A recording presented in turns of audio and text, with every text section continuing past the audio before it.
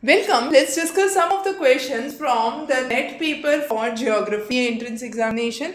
And here we have the first question that talked about the raster data model versus the vector data model. So as we all know, in the vector there is a line. Uh, so that the idea is there is a line. If you stretch it, it would remain a line. But raster images are pixel by pixel images. So you, if you enlarge it, if you stretch it, you would see individual pixels which would be visible. So raster data model is a simple data structure that's for sure. You just have color combinations which are used. All the pixels are of same size and shape again correct. So each of the pixel are uniform right they are in the size and the shape they are same but when it comes to color they are different the file size would be bigger since it's a a raster image for vector, the relative size would be smaller. Raster data is compatible with remote sensing uh, imagery is perfect. Uh, so these three are the correct option and it do not have difficult overlay operations. No, because overlay operations are made simple using raster because you can identify set, certain segments and when you identify segments you can overlap. Okay, this is the this is the agricultural land, this is the forest area, this is the uh, this is the industries which would be seen on the uh, forest area. So we do overlap easily with the help of raster data. So uh, raster and vector and the details on the raster and the vector models we have covered extensively in the book on GIS and cartography uh, which is part of the postal material. So refer that carefully. Now here the terrestrial ecosystem uh, the pyramid of biomass is upright with a broad base that's perfect because in grassland you would have large number of grasses and very few animals in the category of lions or cheetahs.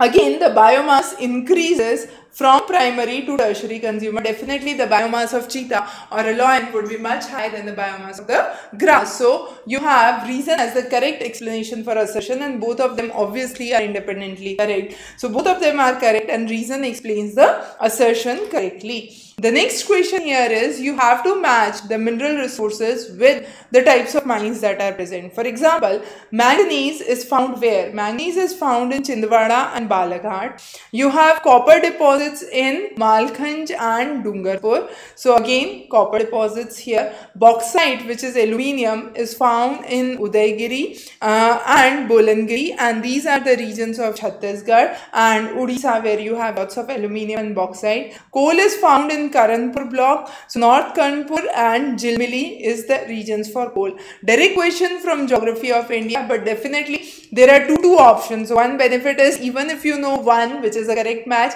you would be able to identify the other one which matches with it correctly. The other important thing is if you know both and you know only two of them you are sure with the choices. So either ways you have to be um, in depth with your content. So prepare well, study well. The next is a very basic question based more on uh, mental reasoning rather than the concepts I would say. So the chronological order in which tourism developed. Definitely if I am doing tourism I need to travel from one place to another. So advent of wheel would be the first thing. So this becomes the first and the foremost thing. Then is the end of World War II usage of jet plane. Now jet plane came very late. So uh, definitely this was after the World War II. So after the World War II, we would see the use of jet plane. So D would be only after B. Now Thomas Cook arranged the first package tour between Leicester to Loughborough in UK. So that was after the wheels were invented and after that we had the end of World War II followed by the jet planes. So the order would be A, C, B and D. So the correct order would be A, C, B and D. Now tourism is a very important topic. Tourism geography is a topic which has been recently asked for your examination.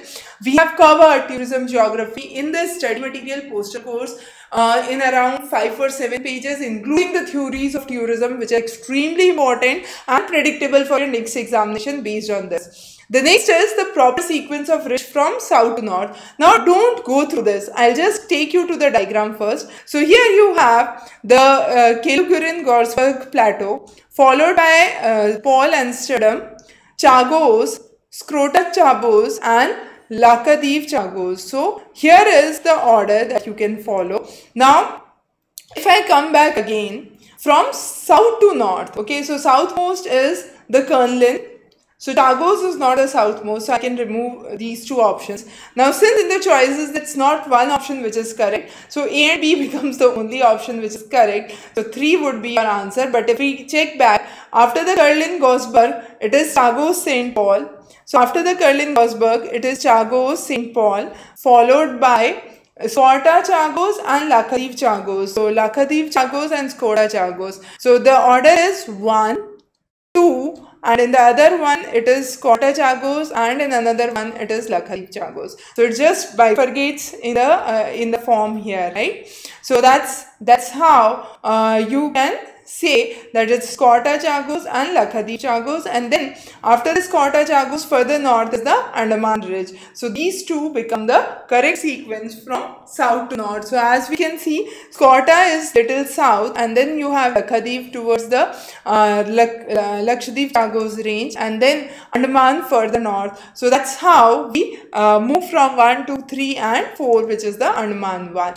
So this was another question from your geography section. Again, if you have a good friendship with Atlas, you are able to solve questions like these. But these are extremely scoring problems. And for UGC NET paper, this time a lot of students felt that the paper was difficult. But in reality, I would say the paper was actually not difficult. What was important is a in-depth extensive study was required. So if you have covered the last past papers, past five years papers carefully and covered the study material extensively, then there is no chance that any of these questions would go unanswered or uh, would you would not be able to answer those questions. wish you very good luck and below are the links which would be useful for practice material. Thanks for joining in.